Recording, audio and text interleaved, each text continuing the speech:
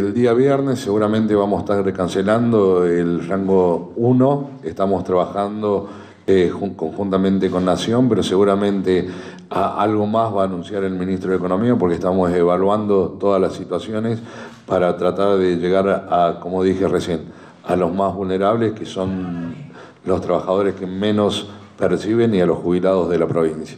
A la vez que estamos pensando en todo lo que impacta esto en salubridad, estamos también pensando en las medidas económicas a futuro. Sabemos que la provincia va a ser golpeada fuertemente por la caída del petróleo, por la baja actividad comercial, por la baja actividad productiva. Recuerden que nuestra provincia vive del petróleo, de los puertos y toda actividad económica está siendo resentida en la provincia. Estamos pensando, pero también estamos viendo y esperando anuncios del gobierno nacional.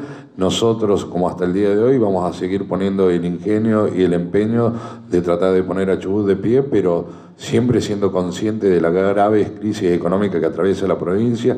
Lo hemos reconocido, lo seguimos reconociendo, pero lo que este equipo de gobierno no deja de hacer permanentemente es trabajar en buscar soluciones para salir de la crisis.